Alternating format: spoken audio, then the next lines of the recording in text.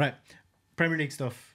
Last night we're, we won't talk about Liverpool's uh, hammering of Leicester. There is one team officially relegated from the Premier League, Shane, and that is Southampton after losing two 0 to Fulham, which means Gavin Bazunu's first season as a first choice Premier League goalkeeper has not gone the way he would have liked. Relegated with his club, called out by Jimmy Carragher last week as a big problem in the Southampton team, which I thought was Was he? in- Yeah, incredibly I can see that. harsh. So what what Jimmy Carragher was pointing towards was that Southampton have conceded 53 goals this season, but they have an XG conceded of 35.8. So the differential is 16 goals that another goalkeeper would be expected to see if the Gavin Bazunu is let in. Now, one issue with that measurement is that the current XG sort of uh, data on goalkeeping does not reflect the game state. So the XG is measuring the chance for this the goal the goal scorer, not the goalie. So it doesn't take into account whether or not there's somebody blocking the goalkeeper's view or whether or not you know it took a bounce. That doesn't count. It only, it only counts the XG. So I, I don't know. I don't think it's very fair for Jimmy Carragher to look at that South, Southampton team and pick out the goalkeeper who has played the most amount of minutes for a player of his age as the problem and one of the reasons why South, Southampton are getting relegated. Yeah, um, yeah. You see, I'm a numbers fella, so what am I going to do here? Argue against the numbers? If I argue against the numbers, I'm kind of contradicting myself. Um, look, the way I would look at this, and I'm not trying to sidestep the issue, but the way I would look at this is Q sidestep. Gavin, Ga- Gavin has had, in the grand scheme of his career trajectory and him his learning curve as a goalkeeper, an absolutely brilliant season. You couldn't, you couldn't have predicted, you know, twelve months ago or however long it is that since he kind of properly broke into the team.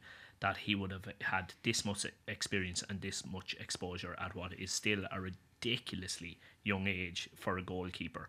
Um, for all the bad stuff that will have happened and some of the good stuff that will have happened, like I wouldn't swap. I, I genuinely wouldn't. Maybe others will say, you know, will it have long term damage to his confidence or anything like that? Everything I hear about the young fella, his attitude is supposed to be superb. I would imagine he has tremendous resilience. Um, you know, which would we rather that he had been the backup goalkeeper for Southampton all season and therefore shielded from any comments like Jamie Carragher's comment the other night, um, or trust right in there playing week in week out with the ball fizzing past you into the back of the net uh, on a regular occasion, on, with, with pretty regularity. Um, I, I, just think it's it's you know it is what it is. They've gone down. Has he made mistakes? Yeah, I think we immediately jump to his defense every time because he's Irish and because he's such a likable fella. Um, I do think there are occasions where he could have been better, but I think I think we're looking at a guy. I, I would have said before this season, based on what I had seen, that we were looking at a guy who by his mid twenties could be a really top notch goalkeeper, and I think that this season to me ensures that he's well on the way to becoming an absolutely. I don't think he's a top notch goalkeeper yet because he's only twenty one. Hmm. What would you have done? Like saying, look at numbers and all the rest of it. But like, would you have dropped him for the last, pretty much the last four games, as Selles did, not looking at the position where Southampton were in the league and what was happening and all the rest of it? Like, if you're looking at that as a manager, like obviously, it, it hasn't made a blooming bit of difference to what's happened. They've gone down and they've still, they, I think they conceded ten goals in the four games before they got dropped, and they can see the ten goals in the four Right, games after they got dropped. And like, you're kind of looking at it from a manager's point of view. If you're Ruben Selles, because like there was the in- issue where I think he was actually going to lose his place a bit sooner in the season, but McCarthy got got injured. He picked up a knock and he missed training or whatever, and then uh, Bazunu stayed in. But you're kind of thinking to make that decision at that stage hmm. of a season to drop your your goalkeeper who is young, when let's be honest, if you're looking at numbers and all the rest of it, they know they're down. Like they're not hmm. going to stay up. Oh no, I can I could see no logic in him being dropped when he hmm. was dropped. I could see logic with him being dropped sooner. Oh no, that that was the plan. Like, the issue was like he was. I think if McCarthy McCarthy got a groin injury earlier on in the season, because it did look as if like there was a great article over on, the Athletic over the weekend. Because obviously we wanted to have a read of it just because to get a sense of the pure dysfunction that's being at Southampton in terms of that dressing room. Even we talk about Chelsea, but Southampton have had two dressing rooms because the amount of players, and then naturally afterwards when there was changes made, still there was kind of like uh, fluctuation of certain players to one dressing room and one to another because there was that much of a divide.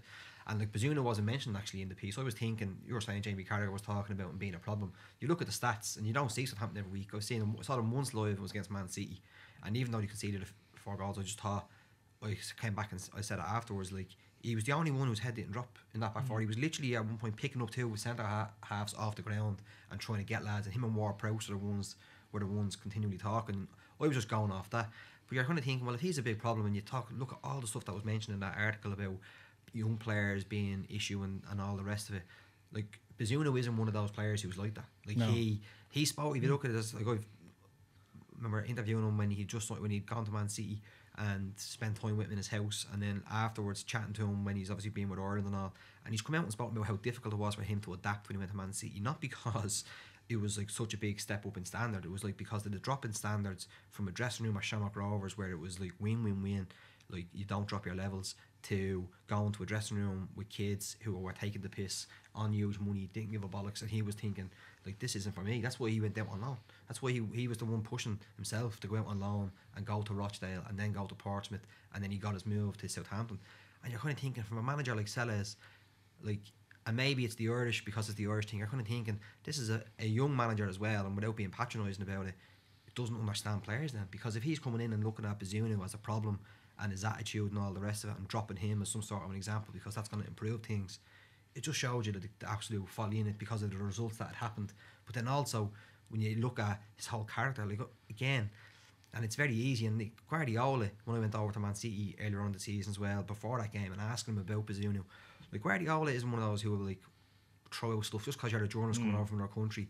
Like if he had no interest in answering the question, he's like those other lads were asking stuff about Haaland and um, Ruben Dias and all, and there was questions even about Gundogan. There was all these lads who he could have bigged up, but he doesn't. And then I asked him a question about Bazunu, and straight away the first thing he talked about was just his mentality from the day, first day of how he is around other players, how he is on a pitch, and you're kind of thinking that doesn't tally then with a player who's been a big problem for that team. Don't get me wrong, there's been mistakes, but like Jamie Mack, like if you can't look at Southampton and see where some of the issues are in terms of that defence and and also the midfield. Yeah, but it's not. Yeah, And, but like, it's not it an was- outlandish point for, No. for Carragher to be making. Well, lads. No, no, Like, no. I there is don't the issue. feel- He's obviously a young. Don't get me wrong. He's still a young goalkeeper, and it's a really tough season for him. But where, what I'm coming from, the point I'm trying to make is, if you look at what's being said about, like, to say the mentality and all the rest of it, like, I don't know. I don't think. I don't think that's the issue with Bazunu. Well, in fairness, he wasn't saying it was. Well, his I don't think he questioned his mentality though. It, Like, it I, I wasn't. don't It was, it was all about the goals conceded. I don't. I just don't feel that there's a need for us to go to war on Gavin Bazunu's behalf here, right? He's a top class goalkeeper. He's 21 years of age. There's not a 21 year old goalkeeper in the world who would have played in goal for Southampton this year and come through the season unscathed. Mm. It, it, it's not going to happen. He's had a brilliant season in the grand scheme of his learning curve over the course of his career. He is going to be a top class goalkeeper by the time he hits 24, 25. And this season will actually have been a season that will have helped him to mm. become a top, top class goalkeeper, in, in, in my opinion. Like, I feel, is he, should he be immune to criticism? Absolutely not. Why Oh, no. would he be immune to criticism? No, no, that's not what I'm saying. But what I mean is, I just think, I don't know. You, you can't say narratives and all the rest of it. Like if if you've got an asset like what he is with Bazunu, you're probably thinking like a, a weaker person for, for next season. You never know what's going to happen. And if Selles will be the manager, you're kind of thinking like, surely does not a play into it a little bit. Like if No, you're well, a manager like, like I think like, that is the reason he was dropped. I think Southampton won't- are that it won't affect him. protecting.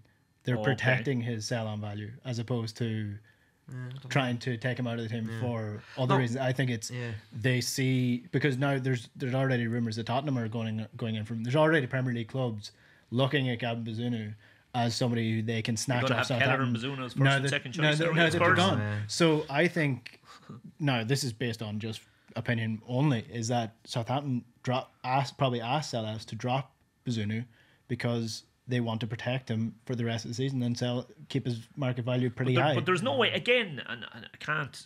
I'm I'm looking just purely at, you know, I I have a, a brilliant young goalkeeper coming through a Cobh, right? Brilliant young goalkeeper coming through a Cobh, but he's a really really young goalkeeper. There was no way I was going to trust him into first choice goalkeeper this season. We've signed a really experienced goalkeeper who's been almost faultless for us. Like in no other position on the field does experience count as much as in the goal. Like there is no way on God's green earth Tottenham are looking at Gavin Bazunu as a first choice goalkeeper for them next season. Not a hope in hell. That's not likewise Caoimhín Kelleher. Not going to happen. A team whose aspirations of finishing in the top six or whatever Spurs' aspirations are these days, I don't know, in the Premier League, are not going to play a 21 year old in goal. Not going to happen, lads. Hmm. You sign a proven entity as a goalkeeper if you want to be a top team. You don't sign a player based on the potential, no matter how big his potential is, and his potential is massive. Don't I don't I want anybody to interpret this as criticism of Gabazon. I think he will be playing in goal for one of the top six teams in the Premier League by his mid twenties. Nailed on. But Jesus, not now. Not ready for it yet.